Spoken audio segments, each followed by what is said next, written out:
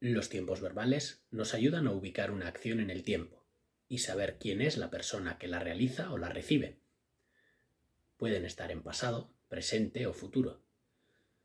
Pero, ¿qué ocurre cuando estas acciones no han sucedido y puede que no pasen nunca? ¿Qué forma verbal se utiliza para dar consejos o para decir que te gustaría haber hecho las cosas de otra manera? El subjuntivo. El modo subjuntivo es toda una gran familia de tiempos verbales, casi tan grande como el indicativo. Vamos a repasarlos. Tiempos simples. El presente simple de subjuntivo se usa para expresar un deseo, una posibilidad o una petición en tiempo actual. Ojalá Daniel estudie todos los jueves. Puede que apruebe si le pongo ganas tal vez llegue a tiempo. ¿Es correcto? Tal vez llego a tiempo. Es un apaño. Utilizamos el presente de indicativo para expresar el futuro, porque la posibilidad, la hipótesis, ya está metida en el tal vez. Lo correcto en este caso es usar el modo subjuntivo. No le tengáis miedo. Pretérito imperfecto. Hace referencia a una posibilidad, que puede ser en pasado o presente. Sería genial si mi padre me trajera las zapatillas buenas. Ves que hay dos formas, trajera y trajese. Ambas son correctas. Veamos otro ejemplo. No creo que Adrián llamara a Marta el otro día.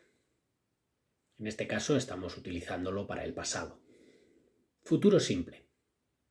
Este tiempo expresa un futuro desde un punto de vista sin garantías de que se cumplan. Es un tiempo verbal que se usa cada vez menos. Se puede ver en textos jurídicos. Quien cometiere delito será castigado.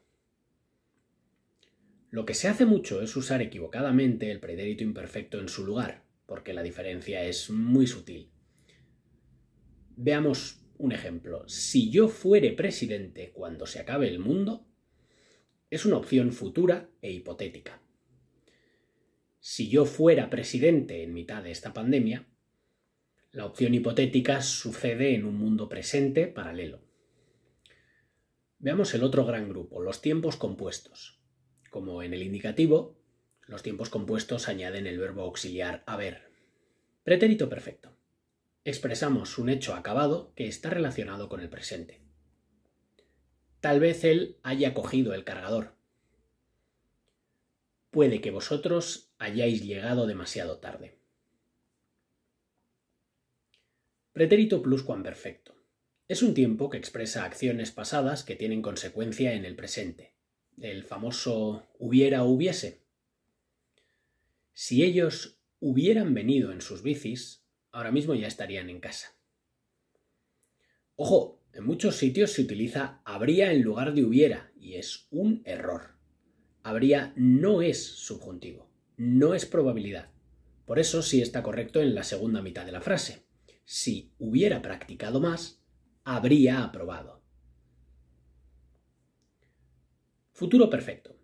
Es un tiempo verbal que expresa acciones para afirmar un hecho futuro que ya se ha finalizado.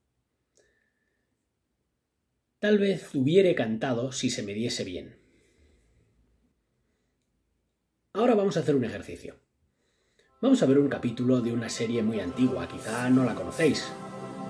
Quiero que prestéis mucha atención a todo lo que ocurre. Y al final vais a escribir un consejo para los protagonistas.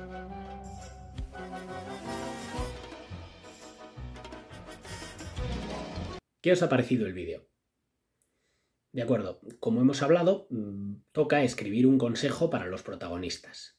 Quiero que escribáis un párrafo, una media página, donde expliquéis qué errores creéis que han cometido, cuáles son vuestras recomendaciones para evitarlos más adelante y cuáles serán las ventajas de haceros caso a partir de ahora.